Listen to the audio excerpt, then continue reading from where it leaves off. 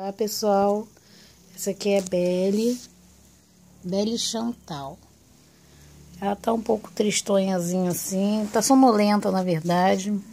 Hoje completa 27 dias que ela cruzou. Assim tá a barriguinha dela. Você vê que as tetinhas estão rosadinhas. Há uma aqui na barriga um carocinho discreto que dá para se notar nessa região, abaixo do estômago. Vou tentar filmar. Então, só que ela não está se alimentando.